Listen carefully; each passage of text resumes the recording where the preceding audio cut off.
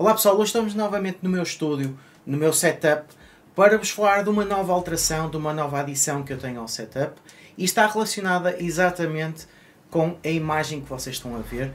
Isto vai passar a ser uma câmera que eu vou utilizar quando quero gravar algumas coisas no computador e como vocês já podem estar a adivinhar, isto é uma câmera que me vai seguir para todo lado, ou seja, eu vou-vos conseguir dar planos diferentes de gravação. No entanto, como sempre, eu gosto de melhorar o meu setup e a forma como apresento os vídeos. E isto vai ser muito para melhorar os vídeos que eu faço à frente do computador, quando faço tutoriais, até para poder fazer algumas lives. E como já podem estar a adivinhar o que é que eu vou falar aqui, isto não é uma, uma câmera propriamente dita, mas sim uma webcam da Ozbot, é a Tiny 4K que está colocada em frente ao meu computador. E é uma câmera que me permite poder andar pelo meu setup, poder estar sentado e ela vai me seguir para todo lado, como podem ver. E o que é interessante que eu vos posso mostrar aqui, que vocês já estão a ver o meu setup, eu estive a gravar aqui há pouco tempo, portanto tenho aqui o microfone e a câmera que ando a gravar a mesa, tenho ali outra câmera, mas o que é engraçado é que eu posso estar a fazer estes vídeos e vocês vão estar a seguir-me para onde quer que eu vá. Outra particularidade desta câmera é que eu posso dar alguns sinais à câmera para ela fazer certas atividades, ou seja, eu posso fazer assim e ela vai fazer o zoom out e vocês conseguem ver a perspectiva toda que a câmera tem. Depois posso fazer outra vez assim e ela faz um zoom para um, uma, uma distância que eu pretendo e depois também posso dar este sinal. Vamos ver se ela reconheceu. Não reconheceu. Esperem aí.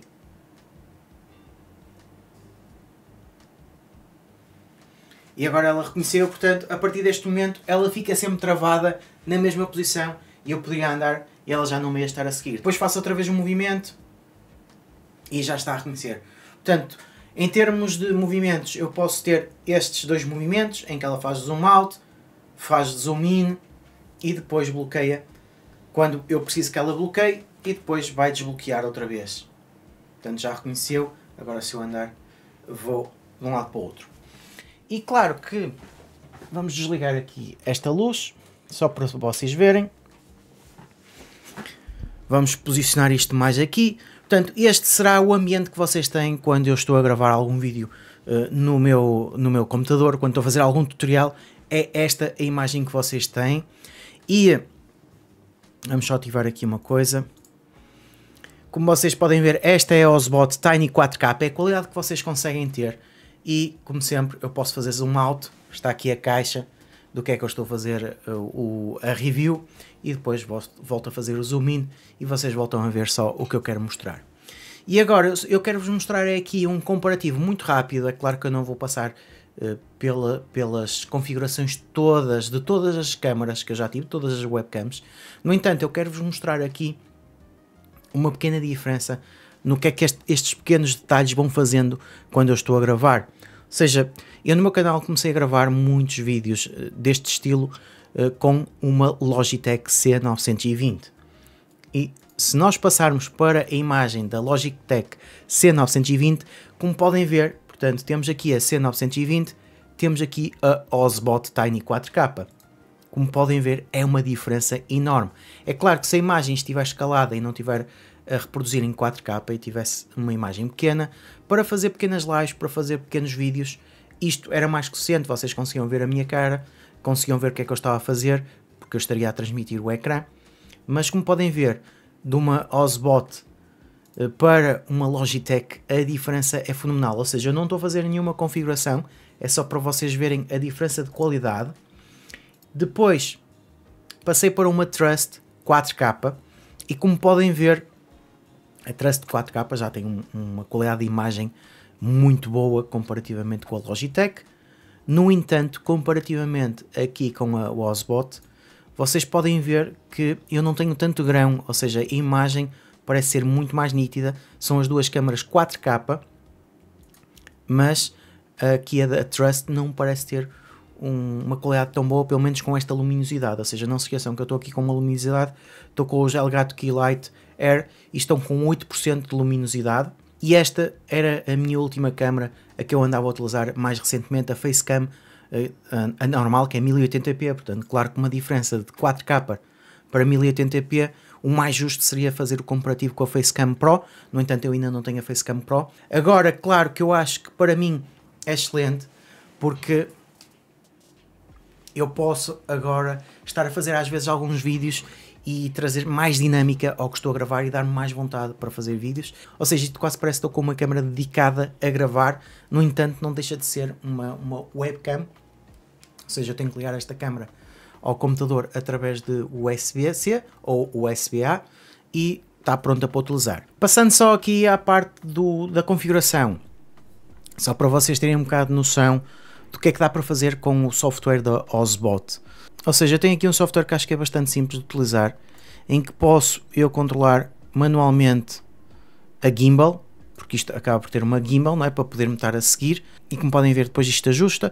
Posso definir aqui algumas posições de preset, ou seja, se eu escolhesse ir para um lado, e ficar fora de cena, eu depois que podia carregar no botão de preset, eu estou só a usar aqui o Stream Deck porque eu já configurei os botões, também podemos configurar os botões no Stream Deck porque isto tem atalhos e como podem ver, eu depois posso controlar e fazer o que quiser diretamente através do Stream Deck ou podia ter os atalhos e podia fazer diretamente nas teclas.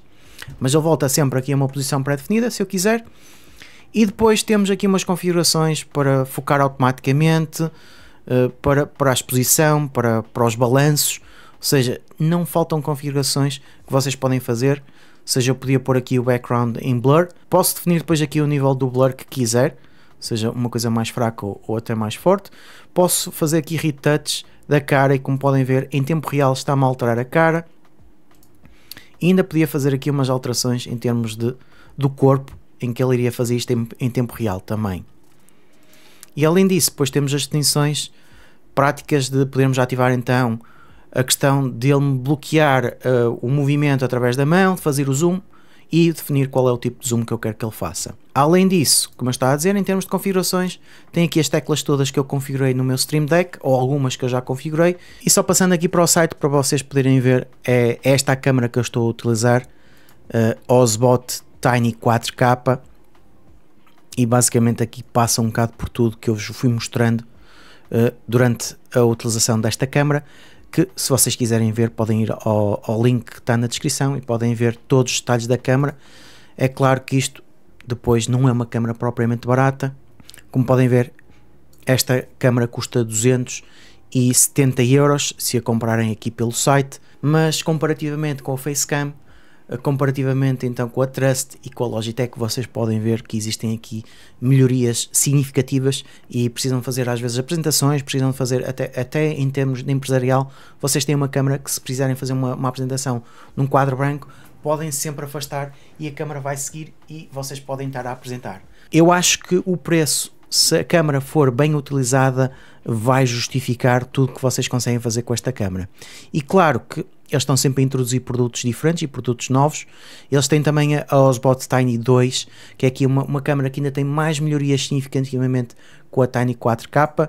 Claro que também vai ter outros preços. Eu espero vir também a trazer ao canal esta nova Tiny 2 4K para vos mostrar aqui algumas melhorias comparativamente com a 4K. No entanto, Claro que se formos ver aqui o preço, a Tiny 2 já custa 309 euros. Isto acaba por ser mesmo para terem uma câmera dedicada para fazerem este tipo de vídeos.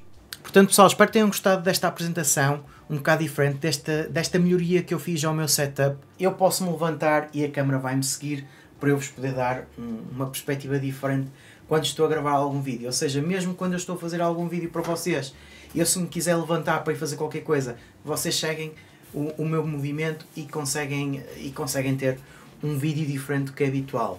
Eh, esta Tiny 4K em princípio vai passar a ser a minha webcam principal e eu também devo vir a testar a Tiny 2 4K se vir em princípio será melhor, claro que passará essa a ser a principal e esta passa a ser secundária, até passa a ter as duas, uma passa a filmar às vezes uma coisa diferente e outra fica mais dedicada para a cara. Às vezes também para fazer algumas apresentações mais rápidas no computador, porque muitas coisas eu não preciso estar a montar o setup. Se tiver uma boa qualidade de imagem, às vezes posso-vos fazer um vídeo nesta perspectiva. Agora só passando para um texto final que eu já me estava a esquecer. Neste momento eu estou sem iluminação, só tem ali uma, umas luzes atrás e isto é a imagem que a Osbot Tiny 4K consegue dar ou seja, praticamente é como se estivesse a jogar só com a iluminação no fundo, seria esta a imagem que conseguia. Passando para a Facecam, isto seria a imagem que vocês conseguem na Facecam, tanto como podem ver, a comparação, sem grandes configurações, é que a Facecam fica com uma, uma cor mais escura, ou seja, nota-se claramente que eu até podia utilizar esta imagem sem fazer aqui grandes adições. É claro que o grão está sempre lá. Isto seria passando para a Trust. A Trust realmente não consegue capturar um, uma boa imagem com pouca luz. E passando aqui para a Logitech, até não parece ser muito má a captura, mas a resolução já é muito mais fraca. Como podem ver, Trust, Ozbot e a Facecam. Portanto, pessoal, espero que este vídeo vos tenha ajudado às vezes a descobrirem uma nova webcam para o vosso setup. Esta é perfeita para o que eu quero fazer. Claro que é um investimento maior, mas para mim é um investimento que faz sentido no, no sentido em que vai ser usada e vai ser utilizada em, em, todo, em toda a vertente. Ou seja, isto mesmo para eu depois poder fazer umas filmagens diferentes, vai ser um vai ser um aqui uma, uma vontade extra que eu tenho para fazer vídeos e para vos apresentar coisas com melhor qualidade e com uma perspectiva diferente.